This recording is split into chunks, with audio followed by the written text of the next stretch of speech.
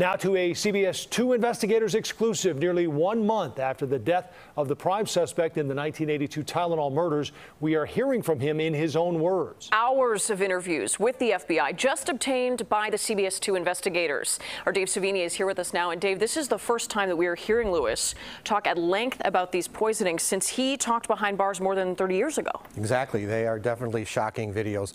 They are the videos we obtained more than two hours long, and they're just part of the evidence investigators collected over the past 40 years, hoping to charge Lewis with the murders of seven people. But they never did, and the only time he served was for trying to extort Johnson & Johnson, the makers of Tylenol. You tired when you wrote the letter?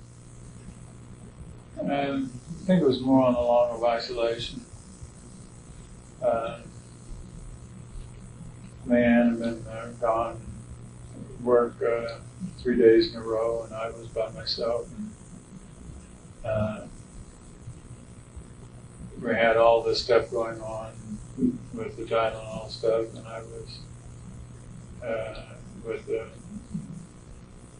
It was on the news, and uh, at the same time, I had the, this isolation in New York where we were trying to get reestablished again.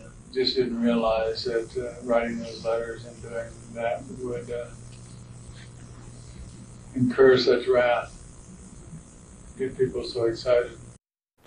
Now, we will dive much deeper into this interview tonight at 10. Plus, you'll see how he speculates that someone as young as a teenager could have pulled off the poisonings. So much more tonight.